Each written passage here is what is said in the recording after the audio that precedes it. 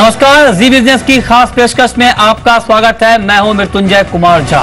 सबसे पहले आप तमाम दर्शकों को दिवाली की ढेर सारी शुभकामनाएँ। हमारी ये पूरी कोशिश है कि ये दिवाली आपके लिए खुशियाँ लेकर आए और आप जो भी बाज़ार में निवेश करें कमोडिटी मार्केट में आप निवेश करें, आपका निवेश यहाँ पर तेज़ी से आगे बढ़े। इसीलिए आज हम खास पेश कर लेकर आए हैं आपको बताने के लिए कि पिछले एक साल में किन किन कमोडिटीज में कितना मुनाफा मिला है और अगले एक साल में, यानी अगली दिवाली तक आपको किस तरह से यहाँ पर मुनाफा मिल सकता है, आपके लिए कहाँ पर खरीदारी या बिकवाली का बेहतर मौका होगा।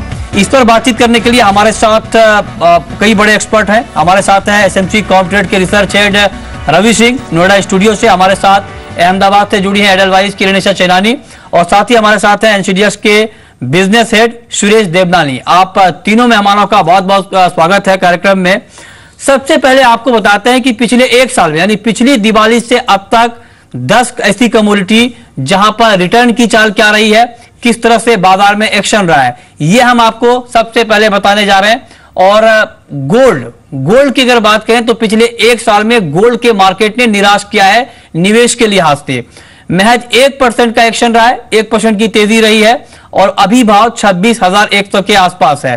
तो गोल्ड में बहुत ज़्यादा मुनाफा नहीं मिला है। चांदी की अगर बात करें तो चांदी में अब जिस तरह से यहाँ पर एक्शन है चांदी में अगर देखें तो यहाँ पर करीब छह परसेंट की कमज़ोरी यहाँ पर देखने को मिली है और पैंतीस हज़ार आठ सौ के आसपास चांदी में यहाँ पर ट्रेड हो रहा है। तो कुल मिलाकर देखें तो बहुत ज़्यादा मुनाफा गोल्ड और सिल्वर में नहीं मिला है। आ, कच्चे तेल में सैतीस परसेंट तक की जो है यहाँ पर गिरावट आई है और 1760 के स्तर पर यहाँ पर सत्रह साठ रुपए भाव नीचे गया है और 2950 का लेवल यहाँ पर देखने को मिला है। इसके अलावा अगर देखें यहाँ पर तो नेचुरल गैस में 41 परसेंट की गिरावट आई है 105 रुपए नीचे एक सौ पाँच रुपए साउदर में नेचुरल गैस का दाम गिरा है और 150 के आसपास यहाँ पर कारोबार हुआ यानी तेज गिरावट आई है नेचुरल गैस में। इसके अलावा अगर बात करें यहाँ पर निकिल की तो यहाँ पर 35 फ़ीसदी की गिरावट आई है। 630 के स्तर तक बाज़ार रख चुका है। तो यहाँ पर जिसने शॉर्ट किया होगा मेटल में, उनको अच्छा खासा मुनाफा यहाँ पर मिलता हुआ दिख रहा है। इसके अलावा एग्री सेगमेंट की अब बात करते हैं। एग्री में चने में करीब चौसठ परसेंट का मुनाफा एक साल में, हालाँकि पिछले दिनों दालों के ऊपर काफ़ी हाहाकार देश में मचा है और तमाम तरह की शक्ति यहाँ पर बढ़ाई गई है, लेकिन पिछले एक साल में यह हकीकत है कि करीब चौसठ परसेंट की तेज़ी वायदा बाज़ार में चने की कीमतों में आई है। इन सब के अलावा अगर बात करें कुछ और कमोडिटी की तो टर्मरिक में सैतालीस परसेंट का मुनाफा मिला है और 9100 के ऊपर पहुँच चुका है भाव। जोरदार तेज़ी पिछले एक साल में टर्मरिक की कीमतों में। तो एग्री ने नॉन एग्री के मुकाबले ज़्यादा मालामाल किया है और जीरे में करीब 36 परसेंट की तेज़ी आई है एक साल में। चार हज़ार रुपए से ज़्यादा दाम बढ़े हैं एक साल के दौरान। जीरे के और ज़बरदस्त मुनाफा यहाँ पर मिलता हुआ दिख रहा है। सोयाबीन की बात करें तो यहाँ पर करीब सत्रह फ़ीसदी की तेज़ी आई है और चार हज़ार के ऊपर भाव यहाँ पर पहुँचता हुआ दिख रहा है। तो अच्छा खासा मुनाफा यहाँ पर भी मिला है। और साथ ही अगर आप बात करें मस्टर्ड की तो मस्टर्ड में करीब 26 फ़ीसदी का मुनाफा मिला है। बाइंग में, अगर आपने यहाँ पर खरीदारी की होगी मस्टर्ड में तो आपको 26 परसेंट का मुनाफा पिछले एक साल में यहाँ पर मिला है।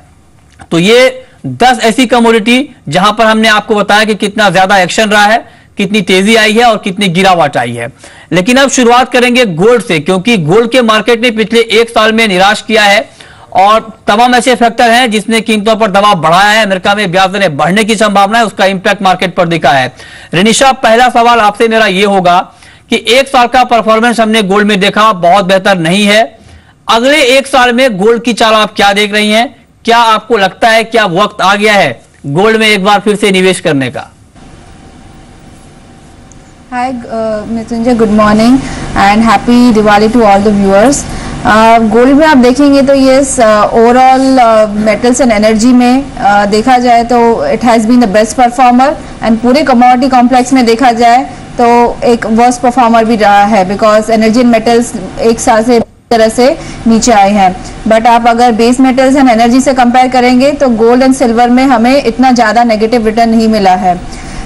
Talking from here till next Diwali I would say कि मुझे नहीं लगता कि प्राइजेस एकदम बॉटम पर है अभी। uh, जो करंट लेवल से अराउंड ट्वेंटी सिक्स थाउज़ेंड यहाँ से मुझे और भी डाउन साइड लग रहा है। Prices can go down to twenty four thousand to twenty four thousand five hundred also and Comex पे लग रहा है कि थाउज़ेंड डॉलर्स के आसपास सपोर्ट मिलेगा।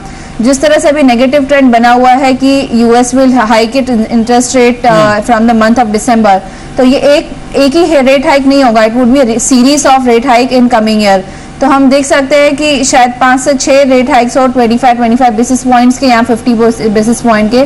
तो नेक्स्ट ईयर तक हम देख सकते हैं कि यूएस में इंटरेस्ट रेट्स डेढ़ से दो टका तक आ जाए। तो ये प्राइजेस पे अभी भी प्रेशर बनाए रखेगा। बट जिस तरह से डॉलर इंडेक्स मज़बूत हो रहा है रुपी में ये कमज़ोरी लाएगा।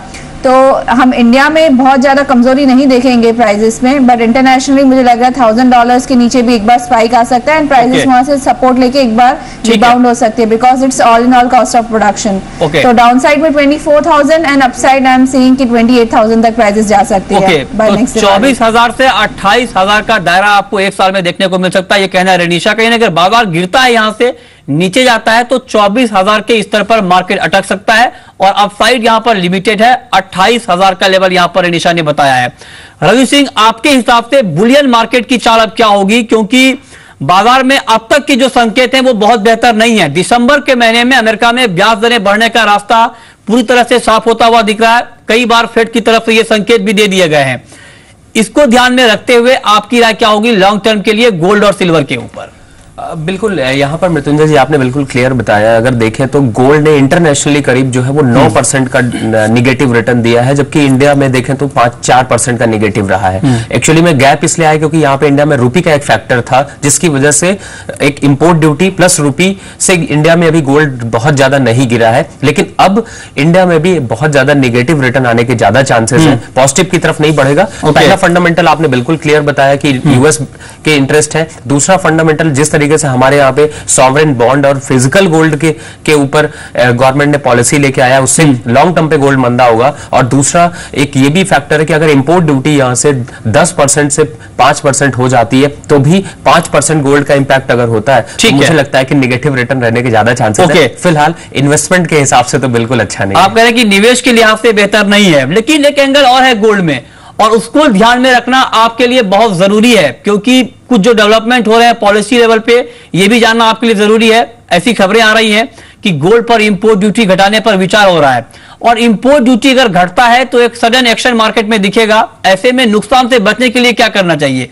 पिछले कुछ दिनों में हमने देखा है कि गोल्ड हेज में यहाँ पर जो इंटरेस्ट है निवेशकों का वो थोड़ा सा बड़ा है, क्योंकि इंपोर्ट ड्यूटी घटने की आशंका यहाँ पर दिख रही है। हमारे साथ एनसीडीएक्स के बिज़नेस हेड सुरेश देवनानी भी हैं। और चूँकि एनसीडीएक्स पर गोल्ड हेज की ट्रेडिंग होती है तो सुरेश, आपसे ये जानना चाहेंगे, क्या आपको लगता है कि जब से इंपोर्ट ड्यूटी घटने की खबर आई है एनसीडीएक्स के हेज में इंटरेस्ट बढ़ा है निवेशकों का? किस तरह का ट्रेंड रहा है पिछले 10-15 दिनों में? जी, मृत्युंजय सबसे पहले आपको और आपके दर्शकों को वेरी हैप्पी दिवाली। जी हाँ एक्सचेंज की तरफ़ से हमारा कोशिश, हमारी प्रयास यही रहती है कि कुछ इनोवेटिव प्रोडक्ट्स लेके आएँ, जो कि एक अपना यूटिलिटी सर्व करें मार्केट में। इसी के मद्देनजर रखते हुए लास्ट ईयर हम लोगों ने गोल्ड हेज का प्रोडक्ट लॉन्च किया था, जिसमें बहुत अच्छा पार्टिसिपेशन दिखाई दिया। गोल्ड हेज का यूनिकनेस ये है कि ये कॉन्ट्रैक्ट बिल्कुल इंटरनेशनल प्राइजेस को रेप्लीकेट करता है। इसमें ड्यूटी कंपोनेंट बिल्कुल इंक्लूडेड नहीं है।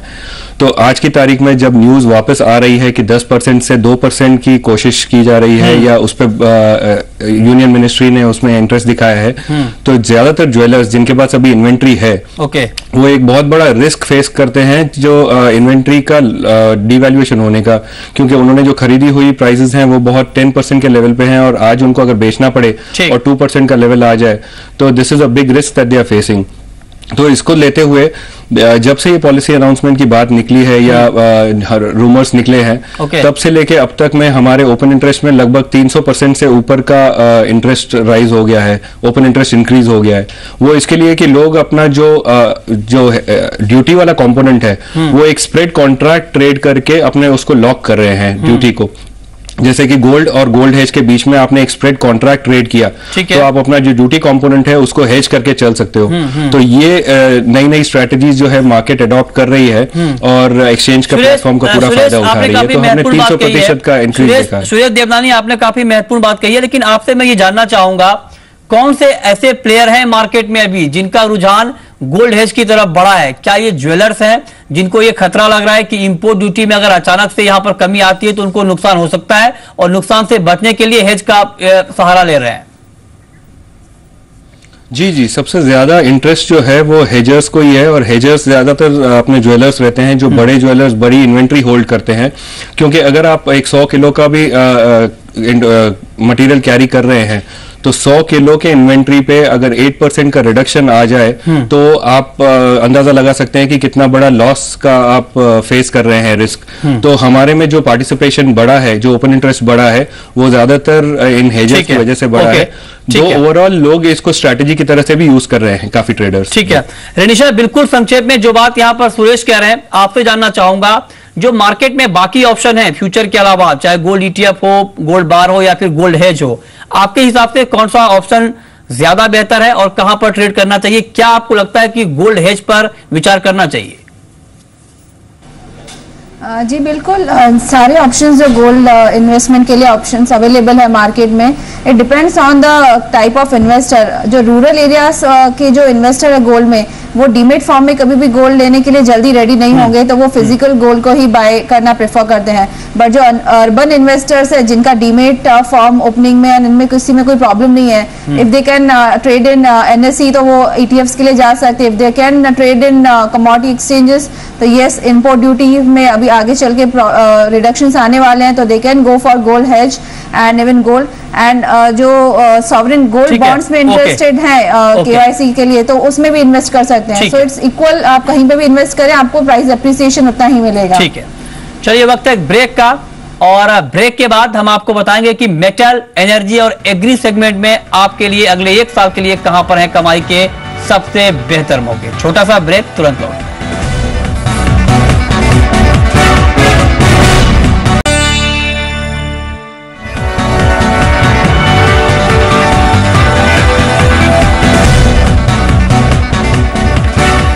ब्रेक के बाद भी आपका स्वागत है और आप बात कर लेते हैं एनर्जी सेगमेंट की। और कच्चे तेल की अगर बात करें तो कच्चे तेल की चाल पिछले एक साल में बेहद दबाव में रही है और करीब तैतीस सैंतीस फ़ीसदी की गिरावट जो है एक साल में क्रूड में यहाँ पर देखने को मिली है। और अगर हम यहाँ पर देखें तो जो फंडामेंटल है क्रूड के वो कमज़ोर थे, क्योंकि ग्लोबल मार्केट में डिमांड के मुकाबले कच्चे तेल की सप्लाई काफ़ी ज़्यादा है और उसका इंपैक्ट कहीं ना कहीं साफ़ तौर पर प्राइस पर देखने को मिल रहा है। रवि सिंह, क्या लगता है आपको, क्रूड में गिरावट अब थम गई है, बॉटम आउट हो गया है मार्केट, या अभी गिरावट और बढ़ने वाली है?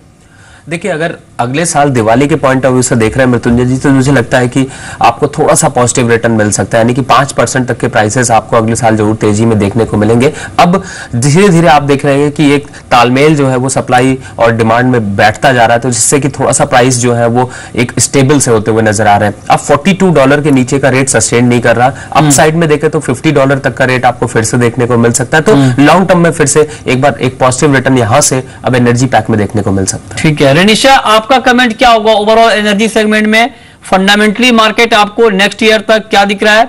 और क्या आपको लगता है कि जो करंट प्राइस मार्केट में दिख रहा है, ये लॉन्ग टर्म के लिहाज से बाइंग के लिए अट्रैक्टिव है? जी, मुझे लग रहा है कि सारी कमोडिटीज में यहाँ से अभी भी सेवन टू एट परसेंट का डाउन साइड बाकी है. इवन क्रूड ऑयल में भी एक डाउनवर्ड फ्लिप आ सकता है. विद इन नेक्स्ट वन और टू मंथ्स यस वहाँ पे around forty dollar is a very good opportunity जहाँ पे बाइंग की जा सकती है for long term investors and हम देख सकते हैं कि नेक्स्ट ईयर वापस 50 55 के आसपास हम क्रूड ऑयल को ट्रेड होते हुए देखेंगे। तो वहाँ से 40 डॉलर से एटलीस्ट 15 टू 20 परसेंट जितना रिटर्न मिल सकता है। धीरे धीरे अगर प्राइजेस 40 के आसपास सस्टेन करती हैं तो फिर हम देख सकते हैं कि काफ़ी प्रोडक्शन कर जाएँगे and that will support the prices gradually तो. 40 dollar is not sustainable next year above 50 I am expecting अब बात कर लेते हैं मेटल की और मेटल के जो फंडामेंटल हैं, वो काफ़ी कमज़ोर हैं क्योंकि अभी डिमांड मार्केट में नहीं है और कोई ऐसा ट्रिगर नहीं था जिसका इंपैक्ट मार्केट पर दिखता। 35 परसेंट की गिरावट आई है, एक साल में निकिल की कीमतों में। आप, रवि सिंह, क्या लगता है आपको? निकिल ओवरऑल मेटल को अगर देखें तो क्या दबाव में ही रहने वाला है या फिर आपको लगता है कि दबाव का दौर अब खत्म हो गया है? मृत्युंजय जी, देखिए 35 परसेंट पहली बात इसमें गिरावट इसलिए आई क्योंकि निकल के अब दूसरे प्रोडक्ट बाय प्रोडक्ट के तरीके से निकल का दूसरा यूज़ शुरू हो गया, जिसकी वजह से निकल की बहुत ज़्यादा डिमांड नहीं। पहली बात, और दूसरा, अगर अब मुझे लगता है बेस मेटल में ज़रूर है कि थोड़ा सा पुल बैक देखने को मिल सकता है यहाँ से, चूँकि ज़्यादातर इकोनॉमी ठीक हो रही है, चाइना में भी स्टिमुलस की बात चल रही तो इसको देखते हुए लॉन्ग टर्म फंडामेंटल पे पाँच परसेंट तक के, पाँच से आठ परसेंट तक के तो आपको रिटर्न ज़रूर देखने को मिल सकते हैं। लेकिन मुझे लगता है अब लीडर चेंज हो जाएगा। पहले हमेशा लीडर जो है वो कॉपर होता था। मुझे लगता है अब शायद वो लीडर एल्यूमिनियम बनता हुआ नज़र आएगा। उसमें ज़्यादा अच्छे रिटर्न आपको देखने को मिल ठीक है। मेटल के फंडामेंटल पर आपका कमेंट क्या है रनीशा जी मुझे लग रहा है कि बेस मेटल्स में अ, अगर आप शॉर्ट टर्म कहेंगे तो मैं एडवाइस नहीं करूँगी अभी बाइंग के लिए। मुझे बिकॉज़ मुझे अभी भी लग रहा है कि प्राइसेस बॉटम आउट नहीं हुई है। कॉपर मुझे लग रहा है 300 तक आ सकता है निकल 600 तक भी आ सकता है। एंड वहाँ पे एक अच्छी अपॉर्चुनिटी मिलेगी जहाँ पे प्राइजेस में all in all cost of production के आसपास आने के चांसेस हैं एंड वहाँ से बॉटम आउट होकर प्राइजेस बढ़ सकती है। ठीक है। जो डॉलर इंडेक्स जिस तरह से मज़बूत हो रहा है अभी भी प्राइजेस को थोड़ा प्रेशर में रखेगा। बट यस नेक्स्ट दो महीने में अच्छे चांसेस मिलेंगे। यहाँ से पाँच से छह परसेंट डाउन साइड पे बाय कीजिए। पंद्रह से बीस परसेंट जितना पॉजिटिव रिटर्न नेक्स्ट ईयर तक मिल सकता है। प्रोडक्शन कट्स चाइना के stimulus measures and liquidity measures prices को आगे चल के सपोर्ट करेंगे। ठीक है। चलिए अब बात करते हैं एग्री की और एग्री का हीरो रहा है। पिछले एक साल में चना, जहाँ पर जोरदार तेज़ी आई है, और तिरसठ परसेंट तक दाम यहाँ पर बढ़े हैं, चौसठ परसेंट इनफैक्ट और ज़बरदस्त तेज़ी, क्योंकि सप्लाई कम डिमांड ज़्यादा, उत्पादन में कमी, ये तमाम ऐसे फैक्टर थे जिसने मार्केट के सेंटीमेंट को बेहद मज़बूत किया है। रवि सिंह, क्या आपको लगता है कि चने में अभी और तेज़ी की संभावना है, या फिर आपको लगता है कि अपसाइड अब खत्म? देखिए चने में एक पल्सेस में जिस तरीके से तेज़ी रही है उसका एक सपोर्ट चने में देखने को मिला है ओवरऑल फंडामेंटल में अगर देखें तो चने के हमारे पास स्टॉक काफ़ी ज़्यादा है शायद डिमांड और सप्लाई में गैप होने से ये रेट इतने प्राइसेस बढ़े हुए हैं लेकिन मुझे लगता है कि अगले साल तक अगर आप जैसा हम दिवाली टू दिवाली का अगर प्रोग्राम देख रहे हैं तो उसको देखते हुए मुझे लगता है पाँच से आठ परसेंट से ज़्यादा फ़िलहाल चने में और रेट बढ़ने के चांसेस नहीं है। तो यहाँ पर एक लिमिटेड कैप देखने Okay. को मिलेगा अपसाइड पर हल्दी और जीरे पर आपकी राय क्या होगी? एक साल के लिए क्या आपको ये दो दोनों काउंटर मसालों में ज़्यादा स्ट्रांग दिख रहा है? देखिए हल्दी और जीरे में मुझे लगता है थोड़ा सा तेज़ी ज़्यादा देखने को मिल सकती है। अपसाइड में एक बार 10 परसेंट तक की रैली और देखने को मिल सकती है। तो अगर बेट के हिसाब से देखें तो वैसे भी अब शायद ट्रेंड चेंज हो गया है। बेस मेटल या किसी और मार्केट से ज़्यादा शायद मेरे ख्याल से एग्री मार्केट रिटर्न दे रहे हैं। तो इस साल भी हल्दी और जीरा खास तौर से देखें तो मुझे लगता है दस तक का अपसाइड मोमेंटम यहाँ से ज़रूर देखने को मिल सकता है। ठीक है। आगे बढ़ते हैं और बात एडेबल ऑयल कॉम्प्लेक्स की, क्योंकि यहाँ पर भी अच्छा खासा एक्शन दिखा है। सोयाबीन और मस्टर्ड ये दो ऐसे काउंटर है एडेबल ऑयल में, जहाँ पर अच्छी तेज़ी आई है पिछले एक साल के दौरान। फंडामेंटली मार्केट काफ़ी मज़बूत था, उसका इंपैक्ट साफ़ तौर पर प्राइस पे दिखा है। सोयाबीन में करीब 20 परसेंट का और मस्टर्ड में करीब 31 परसेंट का मुनाफा मिला है पिछले एक साल के दौरान। क्या आपको लगता है कि ये तेज़ी अभी और कंटिन्यू रहने वाली है? और अभी भी ये दोनों काउंटर बाइंग के लिहाज से अट्रैक्टिव है? देखिए अगर आर एम सीड यानी सरसों की बात करें तो उसमें ज़रूर है कि आपको आने वाले टाइम पर सबसे ज़्यादा अच्छे रिटर्न देखने के चांसेस है यानी 30 परसेंट से ऊपर के रिटर्न मिल सकते हैं। क्योंकि इस साल अगर देखें तो जो वेदर रहा है और जिस तरीके से एलिनो का इफ़ेक्ट हुआ है वो शायद मेरे ख्याल से आगे स्टॉक जो है वो लिमिट करता हुआ नज़र आएगा। तो आगे इसमें प्राइसेस बढ़ने के बहुत ज़्यादा चांसेस है। साथ ही सोयाबीन का अगर ट्रेंड देखें तो जिस तरीके से पहले इंडिया एक्सपोर्ट करता था अब इंपोर्ट की तरफ़ बढ़ता जा रहा है तो फंडामेंटल जो है वो अब इंटरनेशनली के साथ में इंपोर्ट की प्राइसेस पे डिपेंड करेंगे तो उसको देखते हुए ज़रूर है कि इसमें भी एक अपसाइड का मोमेंटम आपको देखने को मिल सकता है। बहुत बहुत शुक्रिया रवि सिंह आपका रनिशा चेनानी आपका और सुरेश देवदानी आपका हमसे जुड़ने के लिए और बताने के लिए कि अगले एक साल के लिए निवेश के बेहतर विकल्प कौन से होंगे किस तरह से निवेश करना चाहिए और किन किन चीज़ों का ध्यान यहाँ पर रखना चाहिए। तो फ़िलहाल इस कार्यक्रम में इतना ही वक्त है ब्रेक का ब्रेक के बाद भी खबरें लगातार जारी है।